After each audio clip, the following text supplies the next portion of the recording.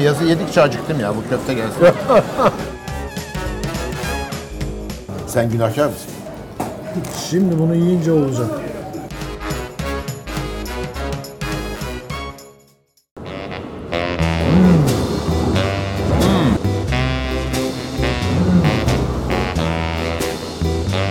Allah bizi ıslah etsin.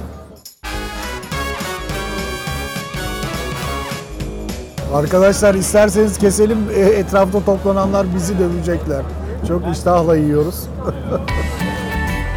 Görevimiz yemek, Cuma Türkiye'nin lezzet ekranı Türk Max Gurme'de.